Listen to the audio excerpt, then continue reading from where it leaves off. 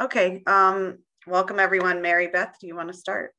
Sure. Um, well, welcome everyone. It's really nice to have you with us today. And I am uh, particularly pleased uh, to introduce someone uh, who I consider a friend, Rachelle Winkle Wagner, and she is going to be talking about um, some of her research. Uh, and it's research that I remember learning about a long time ago, and she's been working on for a long time. And so um, hopefully um, you'll really enjoy it. But I did want to just spend a minute telling you a little bit about her. And actually, Rachelle, I'm not even looking at a bio. I'm just going to say that. Um, you don't even need to. Yeah, just so that you all know, um, Rachelle is a professor in um, education, leadership, and policy um, analysis at uh, the University of Wisconsin in the Ed School. And I have known her for a long time. Um, I, I, I, met her uh, at a conference um, and we, uh, I think, shared a cocktail or something and just talked. And I've been a mentor to her. And when I was at Penn, she was a visiting uh, professor. And I've watched her and her husband, who's also a professor um, in political science. Uh, uh, I've watched their whole careers, um, including them getting tenure together and everything. And I feel very honored um, to have that privilege. Um, so most of her work, uh, for those of you who don't know her, and I am the person who recommended her for this, um, is it's um, focused on issues of student identity and race and um, a variety of other um, context issues. But one of the reasons that I also wanted you to all to meet her is because she is, um, from my perspective, by far one of the very best qualitative methodologists around there, around um, a, across any discipline. And I, I I'm not going to say that lightly. I, whenever I am uncertain about how to do something, I just pull out one of Rachelle's books because I know that she takes qualitative methods more seriously than anyone I have ever seen. Um, there is a really wonderful book that I keep near me all the time and I use and have cited in a lot of work and cited methodolo methodologically, theoretically, for context. Um, it's her book called The Unchosen Me, which was published by Johns Hopkins a while ago, but I just feel like it's still incredibly relevant and um, beautiful, beautifully, beautifully um, demonstrates qualitative research and how to be a, a caring and critical scholar. Um, and um, I also wanted to just say that um, Rachelle is um, not only a wonderful researcher, but she is an absolutely terrific mentor and advisor. And one of the things I love about being connected with her on social media is to see those that she advises, um, thanking her and engaging her uh, around her mentorship. And um, I have two of my my mentees who are now her mentees, um, uh, Vanessa and Danny, who um, Vanessa just uh, finished her uh, PhD dissertation, and Danny is a professor now in uh, in at OISE in uh, Toronto, right? And um, these are folks who were uh, were worked with me, and I felt very very safe uh, sending them to Rachelle and her and her team. So she's also a really amazing mentor. And then I also want to say in this time period that we're living, Rochelle is also the mother to two young women. And um, and so, you know, she's a professor, she's an amazing a researcher, a wonderful teacher, and she's also a mother in the midst of this pandemic. And I watch her just um, really role modeling how you can do your very best. I'm not going to say do it all, um, to do your very best um, in, in a difficult situation. And so, um, you know, maybe you'll ask research questions, but if any of you are trying to balance a lot of things, Rachelle is the person who can do that. And so that's my very personal introduction of you. And I'm so excited to learn from you, Rachelle. Thank you so much for being with us today. Oh, it's my pleasure. Thank you so much, Mary Beth. I'm just delighted to be here with you all today. I'm, I'm really, um, really, really honored that that you asked me to come and be with you, and I'm just um, so happy to be here. So, and thank you for the beautiful introduction. I'm, I'm, um, I'm very touched. I'm going to try to share my PowerPoint, make sure that it um, comes through. So maybe give me a thumbs up if you're seeing um, a presentation set of slides, which is good. Um, good, thanks. Uh, so I'm going to use this today as a, as a chance to um, have it be a little bit of a, a playground of ideas. Um, I'm, as Mary Beth said, I'm um, talking about a project that I've been working on for ever, maybe too long. Um, and um, I've recently realized that the, the struggles that I've been with getting my book manuscript together is because it's not just one book, it's really two books. Uh, after I cut um, 300 pages out of the first manuscript, I realized it's not it's not one book, it's two books.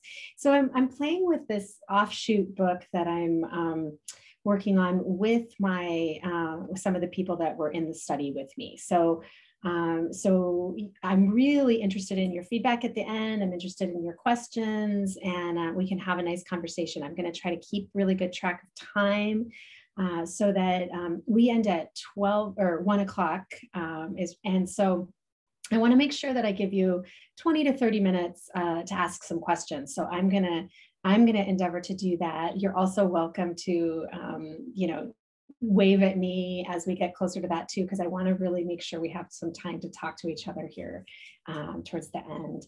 And also, you know, as I'm going along, if people have questions, I'm also happy to engage questions in the, in the middle. Um, I'm happy to just have a conversation. So um, I'm going to talk through um, just a central uh, question that guides all of my work, which is about how students and faculty of color survive and or thrive in higher education and really beyond that into their lives.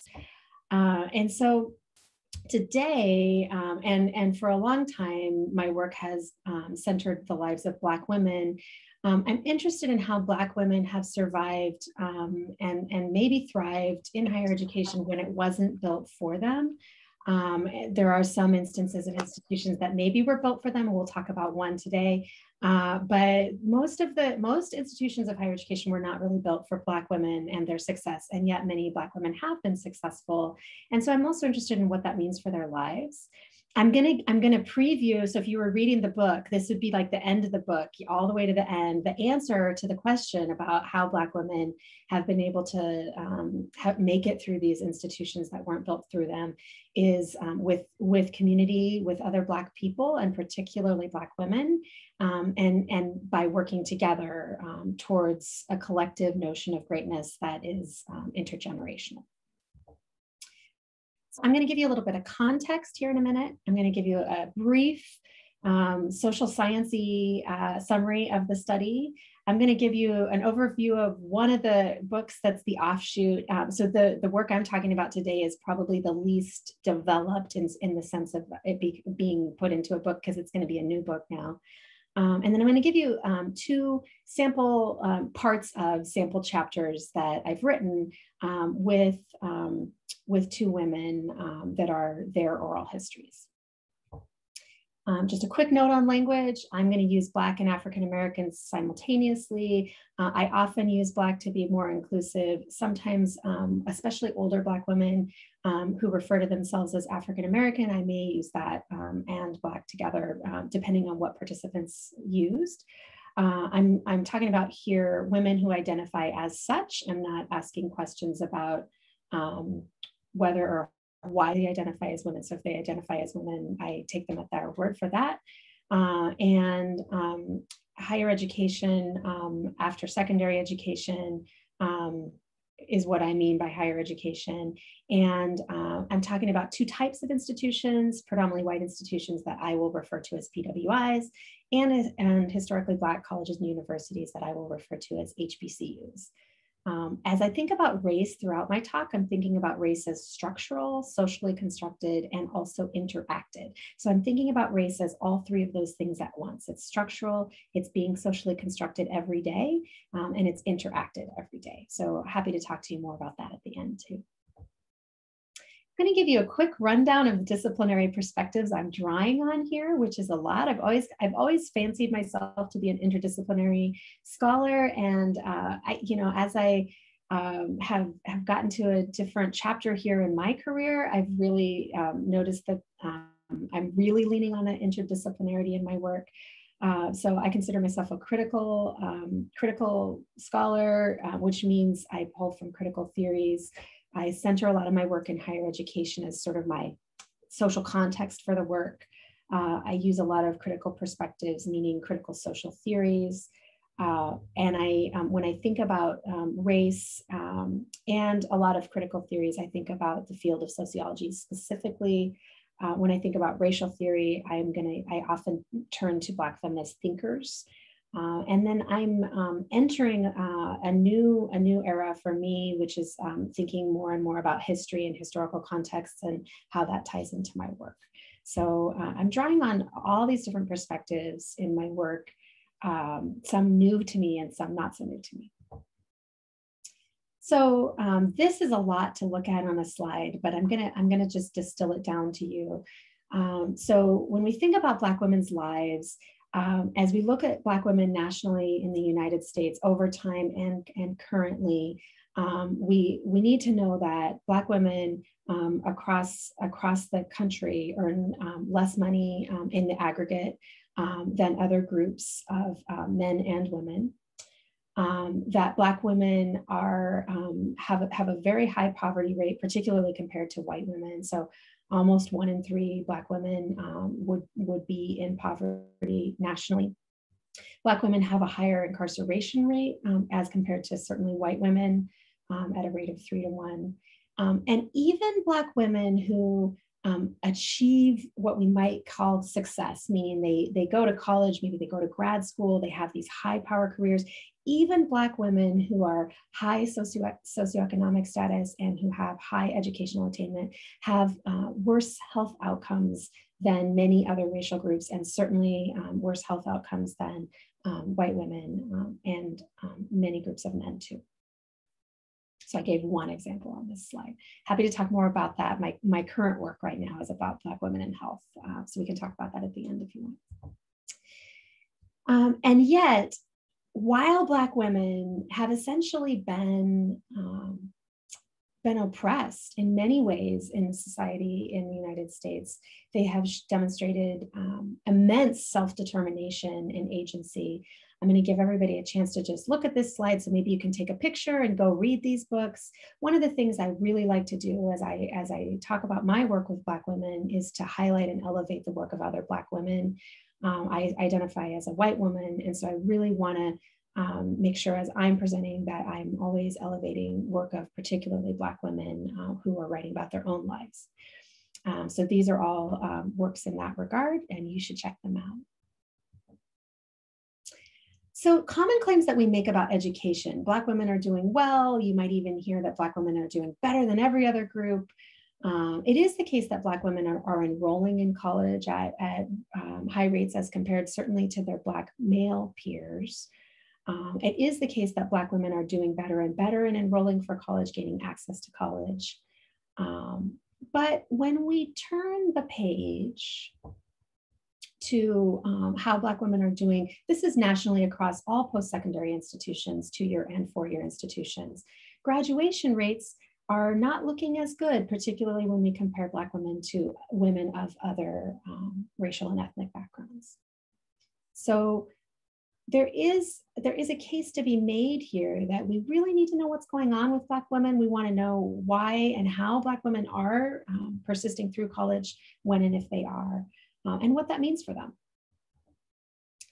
So we need more. We need a more nuanced picture. I'm not the first to say this. Black feminist thinkers and critical race feminist thinkers have been saying this for a very long time since since actually the 1800s uh, so you know many people in that in that camp um, of black feminist thinkers um, have talked about when we said you know when we talk about race we talk about men. When we talk about gender we talk about white women um, people have said this over and over and over through time i've said this in my work too but i just want to note that i when i say that i'm building on a very long tradition of black women saying that for themselves we need more intersectional approaches um, and um, women's lives, who, Black women's lives are often narrowed down, meaning um, they're essentialized, even in research that is supposed to center them. So um, some of my own work and my own review of, of the research that's been done on Black women um, suggests that we often emphasize individual factors. So we, while we may look at groups of Black women, we, we ultimately um, think about individual success Um, we, we often don't look at Black women as compared to each other. So we, we compare Black women to other groups, which, um, which means that often we end up with deficiency approaches, meaning that we, um, we think of Black women as somehow um, lacking something uh, because we're looking at uh, the wrong comparison groups in my, in my view. Um, and we often frame success in ways that maybe Black women are or aren't framing it themselves. So we need to be thinking about that too. How do Black women think about their own success? Some of my prior work, and, and Mary Beth talked about this a little bit in, in the introduction. Um, I'm just going to talk very briefly about this because this was published a long time ago in 2009. Um, my early work with Black women um, in, at the undergraduate level at a predominantly white institution, a, a big research university, um, I, I, spent a year um, with a, a, group of Black women, just following them around campus and meeting with them. And um, the big finding there was that um, Black women didn't feel like they could just be who they were in that space. They felt like the identity was often imposed or outside of the realm of their own control to choose who they could be in that space. So that's the big thing you need to know. Um, as we think about um, this work that I had done earlier, um, the work really suggested that Black women, as they were feeling as if their um, their identities were being imposed on them, they felt as if they had to choose between these polarized tensions. So I'm either too Black or I'm too white. I can't just be me in the middle, whatever that means. Um, I'm often either spotlighted, so hyper visible, or I'm invisible. I can't just be somewhere in the middle, just a student like everybody else. Uh, so there was this series of polarized tensions.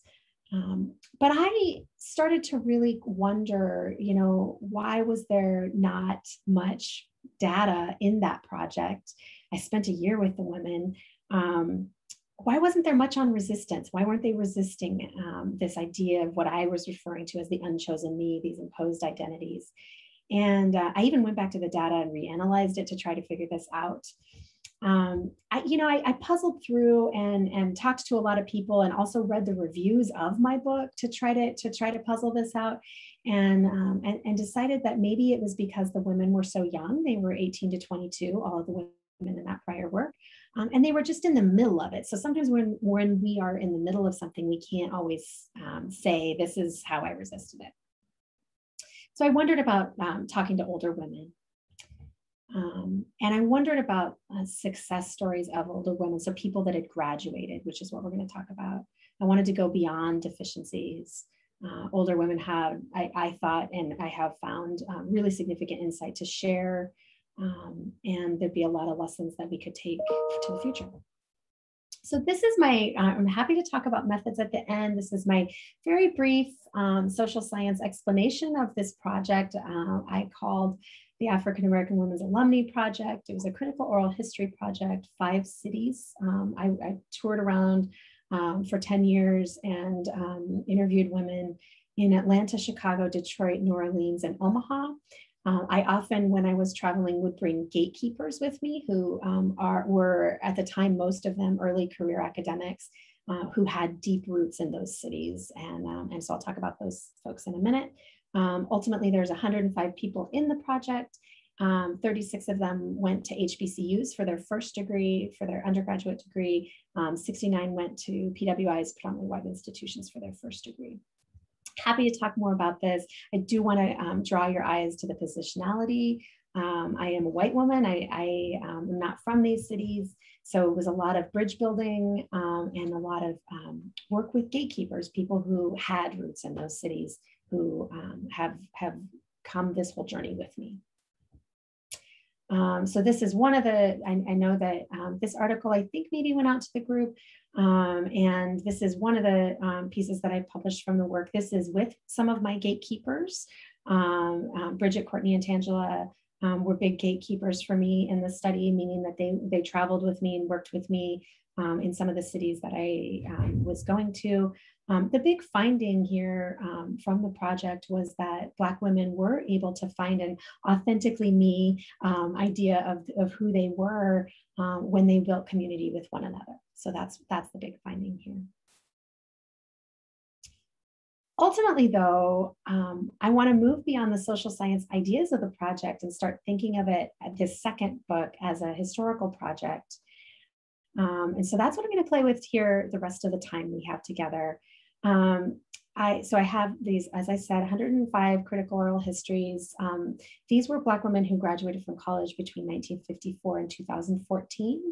Um, and then I'm profiling at the bottom here um, some really great work of um, Black authors who've done work um, either with Black women or uh, on Black education. So I'm going to let everybody take a picture of that in case you haven't read those books, you should. Um, and highlighting those histories. Okay, so the two oral histories I'm going to talk about today, one is um, by a woman that um, goes by a pseudonym that she chose her, we're gonna call her Janelle Johnson for the rest of the day. Um, she is co-authoring with this with me, but she um, is, is using the pseudonym. The other is by somebody um, named Erin Grossier Mitchell, and her condition is that she absolutely wants to be named as, um, as her real name. So she is not using a pseudonym here, as you'll um, learn here in a moment too. so I'm gonna talk to you a little bit about their oral histories next. But first I wanna, I'm gonna talk about the, the oral history and the PWI first from Janelle Johnson.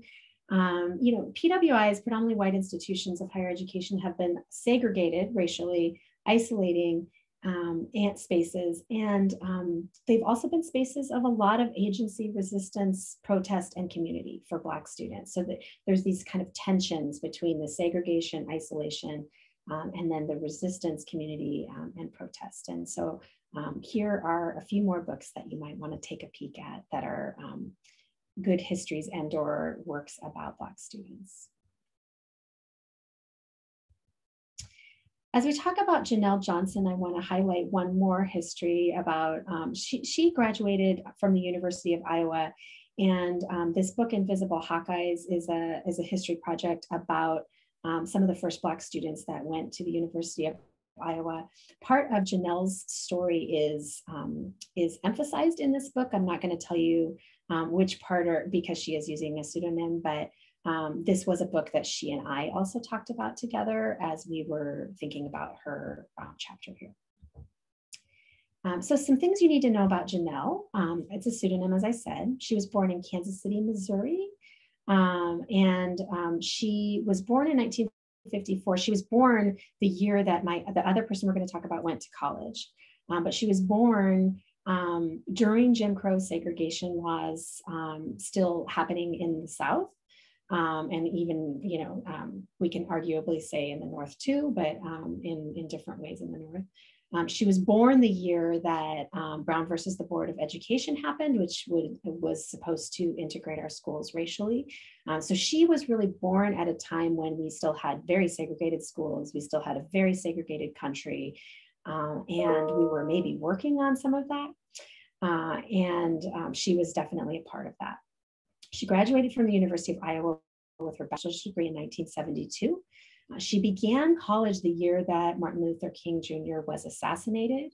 Um, she began college four years after the Civil Rights Act in 1964 um, happened, which um, would say that racial discrimination was illegal. And so her college uh, experience is really part and parcel to the civil rights movement, and she was part and parcel to much of what happened with racial integration at uh, the University of Iowa. She later earned an MBA um, in the 70s and a PhD from Georgetown in the 90s. And I'm blurring some of those dates a little bit because, um, because I am trying to still use a pseudonym for her. Um, she is, um, is still actually a professor. Um, she's technically emeritus, but she's still teaching. Um, so her story starts, we're going to start her story today in high school. Um, I'm going to let you read through this as you desire. I have um, boldface typed some important parts. So she went to an all Black high school. It was during the time when um, schools were supposed to be integrated, but she was um, technically living in the South in Missouri. Uh, and um, her school was all Black. She said that she could count maybe three students in her school who were white, um, and they were not from the United States. So um, she was class president. She was incredibly involved. She was a very, very good student, straight A student.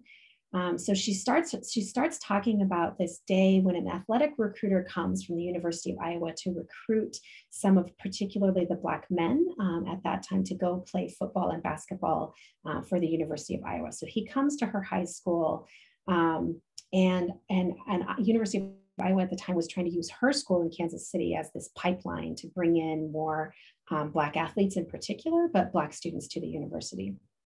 So she talks about um, she had this really, really great high school counselor, and, um, and the high school counselor told this recruiter um, you're not going to get the transcripts for the athletes until you go and talk to this table of girls. So Janelle had, um, as a class president, she had the um, the ability to write herself class passes. So she spent a large majority of her her days in her senior year um, outside the counselor's office. She and the counselor were very close, so she would she would write her friends out of class. So they were sitting outside the counselor's office at this time and um, and so she the the counselor who was a black woman um, essentially made the recruiter um, the athletic recruiter go and talk to um, Janelle and her friends um, about the University of Iowa and um, she she actually reinforced with him that he would not be getting any names of the boys until until she until he th- talked to these girls about about Iowa and going to Iowa. So um, by May of 1968, she, um, Janelle was still having a really hard time getting access to um, most of the predominantly white institutions in her area. She had been rejected from all of them, even though um, she had a 4.0 GPA and was class president. Um, and so because this happened, this is really the reason she went to, um, to the University of Iowa and to a four-year institution. She was actually gonna go into the military because she'd been rejected from other predominantly white institutions in her area. Um, I also want to just note that this high school counselor, um, not only did she, was she the, the, the entree, the access point into college for um, all of these girls, these three girls, but she also paid for their application fees. She signed all their forms for housing. Um, most of these girls had um, parents who had high school educations and um, and and wanted their kids to go to college, but didn't quite know how to work that system. Um, and so this Ms. Quincy, as we call her here, um, even paid the postage um, on the on the the applications, and so she was really part and parcel to them getting it she gets to Iowa and um, and um, Janelle becomes very very involved in the civil rights movement. Um, so they, they, were doing protests all the time. They were they were part of the the mainline civil rights movement, uh, but they were bringing it onto campus. She was part of the Black Student Union. She was part of bringing the Black Student Union to campus um, one night there was a, an arrest at a bar. Um, there was a fight between a black student and a white student, but only the black student got arrested and hauled off to jail, actually. Um, so Janelle and her friends um, loaded up 40 kids and uh, 40 students at the time and um, went to the president's house um, and knocked on his door and and he came down and said, well, you know, bring your bring your friends on in. So this is an important moment because this white um, college president at the time chose to really try to listen to the students that were protesting at his house at three in the morning. Um, so he's in his robe, he's in his pajamas, and he sits down and says, you know, come in, let's have a conversation. Um, and then he tells the students, why don't you elect four or five people, you know, try to solve what we can tonight. We'll try to get this student out of jail for the night. Then let's let's solve the problems here. Let's try to figure out if we can help this so that that doesn't happen in the future. Um, we'll sit down next week and we'll try to figure this out. Um, Janelle was, of course, one of the people that was nominated. Um, so she met with the president. She met with um, a series of other people who were um, big actors, including the chief of police at the time. Um, and they wrote a manifesto uh, about what had happened and, and, racial disparities in policing and also just on campus. and then she continued to work with this president in this role um, for many years to come, actually, on his um, racial integration policies and trying to do better racial integration work at University of Iowa. They stayed in touch for over 20 years. He wrote letters for all of her jobs, for grad school, everything. Um, she even came back to Iowa and worked um, for, with him um, at a certain point in her career for a period of time. Um, all of this comes at a cost, though, and, and this is something that has um, driven my work um, forward in the future. Um, Janelle, you know, became so activist. Um, she, you know, she joined Black Student Union, um, a sorority, um, and then she was doing all this protesting um, that she got really, really sick after her first year in college. She actually had to leave a month early at the end of her freshman year um, and just completely collapsed essentially. She, and as she says it, she studied protest and partied herself into really bad health. Um, and, and she didn't, she wasn't really to come back healthily um, until her sophomore year. Um, and she struggled with health every year um, from then on. Uh, because she was doing so much work for the university, um, unpaid labor as a Black student. Um, um, and yet it was making the world better, but it was, it definitely came as a, as a cost to her. I'm gonna, I'm gonna flip to the other side because I wanna make sure we protect time to talk to each other. Um, so I'm going to flip over to the um, oral history that is at a historically black college in HBCU. And I just want to note that um, while predominantly white institutions were racially segregated spaces, and many um, would say, including me, that they still are in many instances, um, historically black colleges and universities, because predominantly white institutions were racially segregated spaces, um, historically Black colleges and universities did have a mission to serve Black students. Um, that mission did not always include Black women as well as maybe it could have. Um, but uh, I do want to just note that HBCUs are very different spaces um, and that um, amidst the, the entree into HBCUs, um, many instances in history where Black people um, have fought for their own liberty and freedoms and inclusion, um, including um, these conventions that I have listed here. So you can look that up if you want. Um, so as we think about HBCUs, um, HBCUs have been a, a space of uh, college access for Black students and continue to be uh, a really important space for college access. But more than that, they are a, a different kind of space to get a college degree, and they continue to be, um, where we see really different um, different things happening to the students, both in the short and the long term. So I'm going to talk here um, about Erin Gosier Mitchell. She um, has written two of her own um, autobiographies and um, you should definitely read them. Uh, they, I, I, draw on them in this chapter at We Do because we're writing this together. Um, and um, and she's a really um, lovely writer, does just really great, interesting uh, writing that you should read. Uh, and so we're going to tell a different part of her story that isn't in these two books here, um, but I do want to note her as a co-author here too. Some facts facts about Erin. So she was born in Selma, Alabama in 1935, so deep in the Jim Crow South. Uh, and um, she was definitely born at a time when there was um, not racial integration in schooling or in higher education. So um, the, the world that she's born into, you know, she she didn't even shake a white person's hand until she was in college. So she was so segregated in her life that um, she just really wasn't in spaces with white people at all until she was in college. She um, she didn't even go into to a movie theater in her in her hometown until 1991 um, because of that Jim Crow South um, racial segregation history. Um, it just didn't feel comfortable to her until that time. She graduated Spelman College, which is a um, liberal arts institution um, that's a women's college. That's a HBCU in Atlanta, Georgia. She graduated in 1955. She later earned a master's degree. Um, she was a, a musician and uh, she's a retired school teacher at the time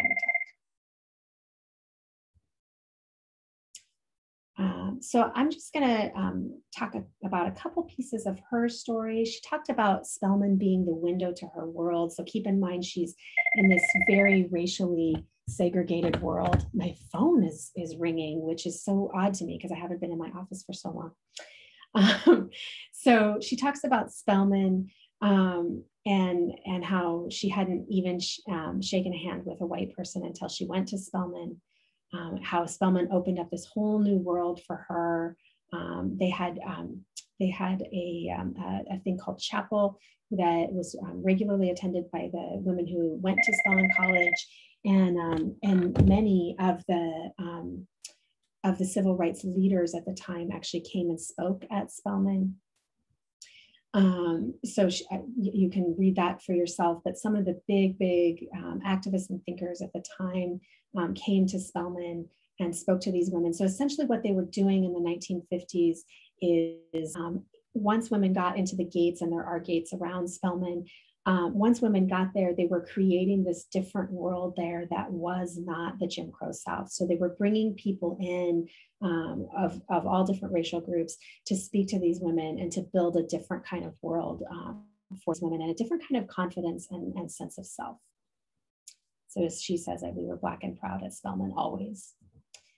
Um, so um, she talks about how um, Spelman was also a place that was very, very protected um, at the president at the time um, talked to the women about she didn't the president didn't even want the women at spelman to go to segregated spaces because she didn't want them to suffer the indignity of having to deal with um, this wrongful racial segregationist um, Jim Crow policy. So they they were not allowed to go to movies. They weren't allowed to go to anything unless it was a Spelman approved event. Um, and and the one thing they were allowed to do um, outside on the outside that would have been a, a segregated space was the symphony. Um, so they, in many ways, were trying to at the time build this um, community and this this whole space that would actually resist and push back on the segregation. Um, so she talks about Spell, Spelman as service.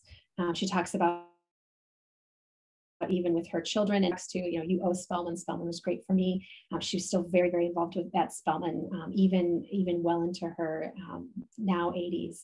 Um, so she's very, um, she still goes back, she still visits, very, very involved. so I'm gonna sum it up so we can talk. at at PWIs, this legacy of greatness, this intergenerational idea of what sustains and elevates Black women through college and then in, into their lives. At, at PWIs, this greatness, I, this idea of greatness was really built out of resistance um, by Black women and men, um, starting Black student unions, um, protesting for civil rights, asking for what was owed to them, just basic uh, basic liberties that they should have been owed as students. And, and that's how greatness was built, but it was, it was out of resistance to this, um, what had been a segregated space that Black students were entering um, and have entered. Um, it did, however, and does still come at a cost. Um, it came at a cost to Janelle's health. Uh, I can tell you more about the project I'm doing right now, but um, PWIs still come at a cost to many Black women um, and their health um, being in PWIs. And so, um, so it's still something to be concerned about that um, these spaces are not still to this day healthy spaces um, for Black students um, and faculty to be. and then at HBCUs, greatness was fostered by the institution itself and the Black women in it. So it was this community space between the institution and, and the Black women in the space. Um, greatness um, was intergenerational um, at Spelman in particular. Um, it was as if she was entering something that had come long before her and that she needed to be a part of pushing that forward into the future. So my question then is who needs to take responsibility for supporting students and what, um, and what does that mean about our values um, in higher education? Um, for Janelle at the PWI, community with other Black women and men was really imperative. Um, and, and even before she got there, it was imperative um, because her high school counselor is the person that provided the most access um, to college. Um, the Black Student Union, um, once she got to college, civil rights protests, even the president becomes part of this community um, in a way, but built out of protest. Um, she did have a partner that um, is in her larger story and was a very significant part of supporting her too. Um, for Erin at the HBCU, there's a typo there, I apologize. Um, this just should be one, one C. Um, community with other Black women and, and men was also imperative, but it was built out of the institutional space, the sisterhood um, faculty um, and administrator representation. I didn't share this part of her story, but she did talk a lot about how it was very important that she saw um, faculty and administrators who were Black uh, and Black women in particular. Um, it was a counter space to the Jim Crow South. Um, and then her continued involvement sustained that community, not just for her, but for the future. Okay, so it's time to talk to each other. I left us just about 20 minutes. Um, I'm going to stop sharing my screen so I can see people's faces and, and at least know who's speaking. Um, so I want to hear from, from you. Okay, as always, if you want to use the chat or use the uh, Zoom tools to show if you have a question or just jump in.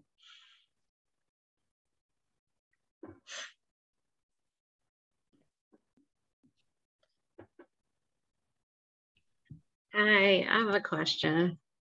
Um, so thank you for coming. I really appreciate this talk. Um, I am wondering and like position in your positionality as a white woman who works at a white university. Um, I absolutely love and appreciate the way you position um, the Black women as authors and co-editors of their stories. But I'm um, just wondering how you think about your work in telling the stories of these women, especially in the position you're at. And I'm just wondering, what do you like if people are doing this work like how i guess i'm wondering how do you think they go about like being part of the solution you know as you know as well as telling the stories of other people Oh, it's really, really good question. I'm, I'm glad you asked it so that we can have a little conversation about it. So feel free to, for, to jump back into um, as I'm as I'm talking with follow up if you want. Um, so yeah, I, I, I, would say um, across my career, this has been a, a lifelong career long process for me uh, to continually return to my positioning as a white woman um, and, um, and how to do the work that I do, which is essentially crossing racial lines and trying to bridge um, boundaries with Black women, how to do that in ways that um, elevate Black women and elevate Black women's ability to tell their own stories and, and, and, and author their own lives. Um, and um, how do I do that work um, in ways that can then translate it to other people um, and translate it to even, even you know, people who aren't Black women. Um, but you know, for me, I would say my first audience and my first um, my first responsibility and obligation is to, to Black women and to the um, Black women in the study um, in particular. And, um, and I just don't care about the, the rest as much. And so at, um, I am constantly working with um, the Black women that I engage in my work to make sure that the work is working for them, which means that I, I have to constantly ask the question, um, you know, is this okay to tell this story? Do you want to author this with me? This is, I, it's not just me who can tell this story, obviously. Um, you know, is there um, is there time and space where sometimes um, data from the project maybe um, has me as the last author or not even an author, you know, um, right? So, so thinking about everything from authorship to how do I engage people when I actually meet with them um, all of that's on the table all the time. And the thing I often tell to people who want to do this work who are white um, is that if you're going to do this work, um, your credibility is always and forever up for grabs, meaning every single moment that you do the work, every single moment, not just when you're meeting with a participant, but when you're writing, when you're publishing, when you're going out and speaking, um, every single moment is an opportunity to either build trust, and build community, which is what I've learned from the Black women in this in this study, um, or it's a chance, it's, it's an opportunity to betray that and to, to cause racial harm. And so, if you're going to do this work, this is what I say to white people who want to enter that space. Every single moment, you're is is that teeter totter between those two things, and sometimes um, it's going to go right and sometimes it's not going to go right and you need people, um, and I have a lot of people, um, to tell you if and when it doesn't go right so that you can try to make it right in the future. Um, so I, I, think that's been the way that I've proceeded um, and continue to proceed throughout my career. Um, it means that almost all of my co-authors um, on almost all of my work, and a lot of my, most of my work is co-authored now. almost all my co-authors are Black women. Um, and, and some of them are participants, some of them are not. Um, but it, it also means that um, if I'm going to enter this space and try to elevate um, lives of Black women, that um, I need to not be the center voice a lot of the time. I don't know if that answers your question though. Do you want to, is there a follow up? I just want to make sure I'm answering the question that you're asking. Yeah, I think that's fine. I was also um, thinking about like just, uh, I guess, like advocacy work at the university and make sure like more um, Black doc students are enrolled and, you know, mentored and things of that nature too. So, absolutely. Yeah, I appreciate it. Thank you yeah no that's that's also I, and i will say that i mean for me as a critical um, scholar and I, I say this to students when i teach critical i teach a critical theory um, and methods class. And um, and I, I say to them you know um, if you're going to do this kind of work you can't just write about it. You have to live it throughout your whole life. So um, so one of the ways for example that i try to live out this work is um, by being the admissions chair um, in my department because um, being admissions chair um, is one way that I can really try to increase uh, the number of students of color that we have in the department and and then um, you know or for example trying to create I created a um, fellowship program for doctoral students who are students of color so that once students are here, they can get really, really, really just uh, stellar research training so that they can be really great scholars entering the field um, and you know etc so yeah it, it can't just be the writing. It absolutely has to be the rest of the work. Yeah yeah. I'm so glad you asked the question um, and and got us to to talk about that. Any other questions? Um, i have a question too I mean, it's actually two. One of them sort of following up on what you were talking about. Um, I, am curious about. So, so you mentioned in these two cases that you're you're highlighting this sort of process of co-authorship, but I'm I'm curious because this is such a big project with so many oral histories.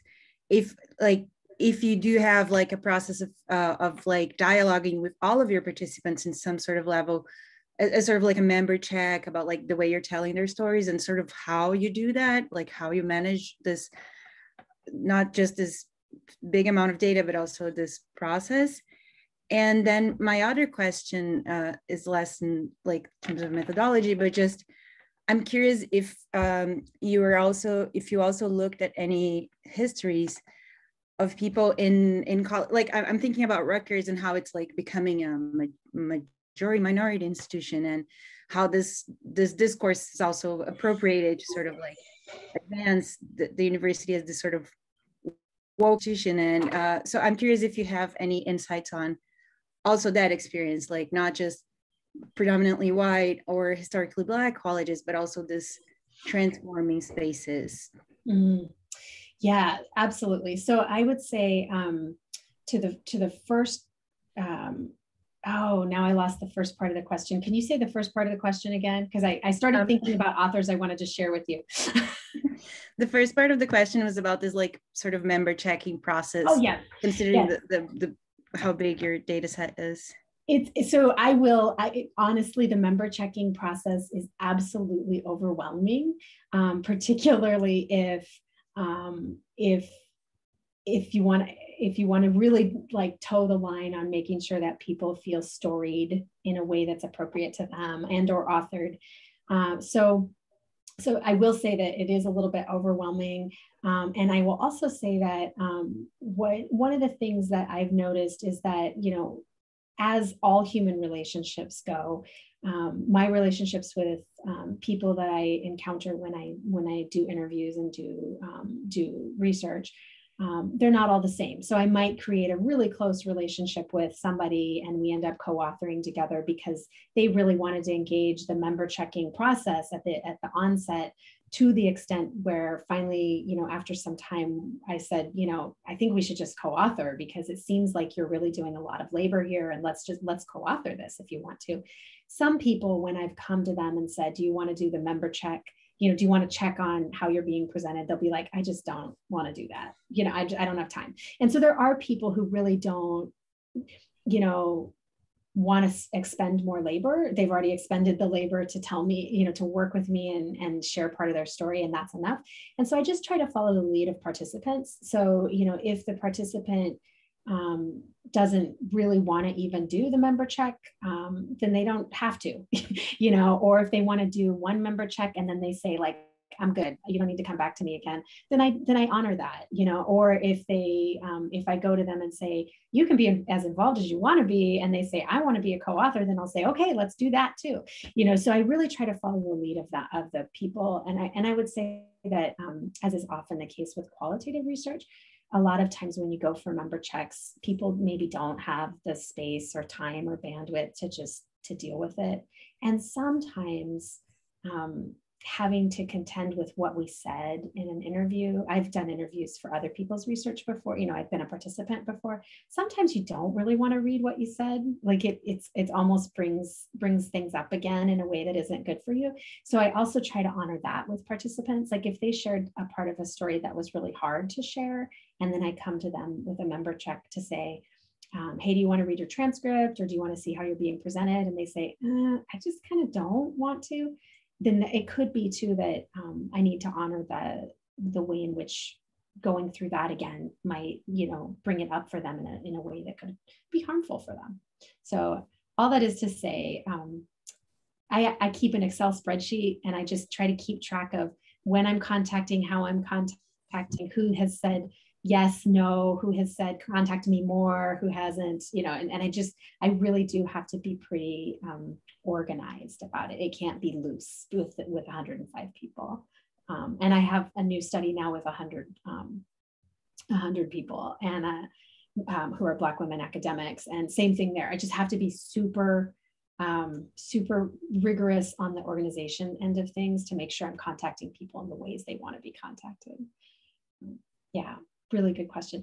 On the on the other histories piece, I would really recommend. Um, there's a there's a book on um, campus counter spaces by Micere um, Keels, K E E L S.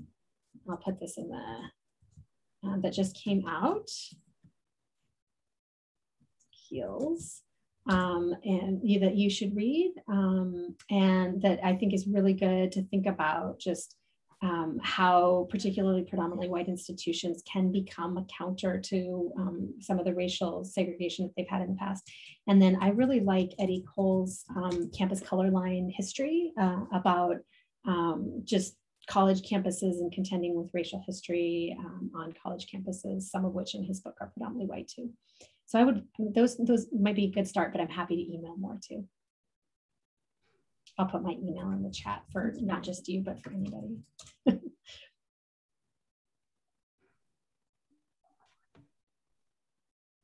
Any other questions? We still have some time.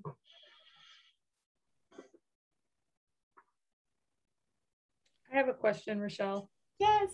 Um, I'm curious. Uh, this is one of the first times I've seen you um, refer to history and mention that you're kind of moving in that direction. And as yeah as somebody who, who cares a lot about that and uh, often is frustrated by um, scholars not understanding that things actually came before them um, before their research and, and you know go, goes way back especially when it comes to this this topic in particular. And i was so glad to see that you highlighted black women who've been writing about these topics for so long.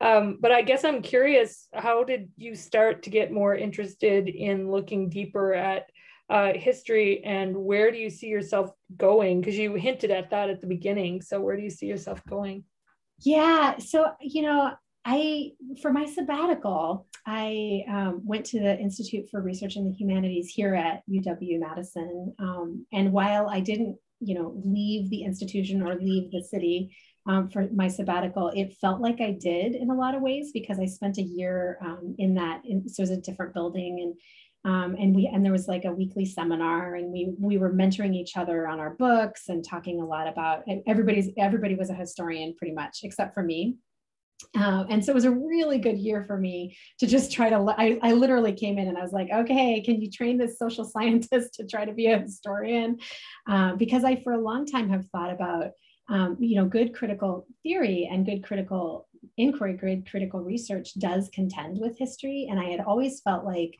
um, the, the space that I had not filled out in my own work as a critical scholar was trying to blend social sciences and humanities better. And, and I hadn't done it yet. And so I just was really trying to do that.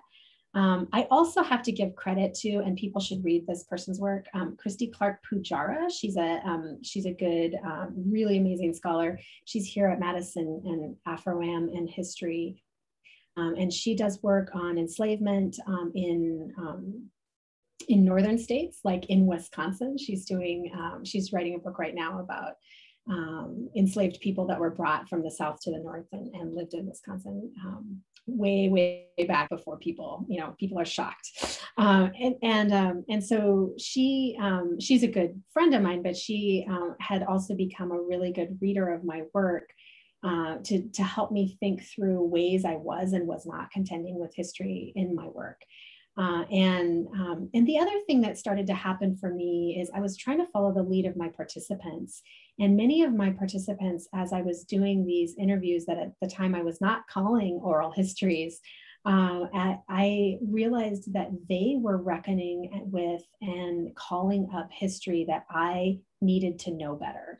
And so um, after many interviews, I would I would have to go and read books and books and books to just understand the context that they were drawing on because many of the women were older than I was and so I think, you know, as following the lead of the participants, I, I, I found that um, reckoning with and trying to read and understand the history, the, the context that they were drawing on um, was just absolutely vital to understanding their um, their position and their story and how they were thinking and even the music and art and culture and artifacts that they were um, drawing on at the time. So I, it also, um, I also really needed to educate myself in, in those ways about um, historical artifacts of just art and music and reading. And, you know, so I, I read a lot of um, novels and things that, uh, for example, that some of the participants were referencing. So yeah, I found that the history project needed to extend not just reading other people's histories, but it needed to extend that whole range. Um, and I um, now I can't go back. So I feel like um, as I as I go forward with my work, um, even when I frame it in a more social science, um, qualitative methods, critical critical research kind of way, it's always going to have this, um, I hope, um, historical component to it that I will call out. Um, because I just I I have come to realize, and you know, in sociology they would say that you can't study anything without studying social context but social context is history. You know there is a history to it that also comes with it. And so um, yeah so I, am definitely going to be drawing that forward. Um, the work that i'm doing right now is about black women and, and health outcomes um, in the academy. It's a um, mixed methods study.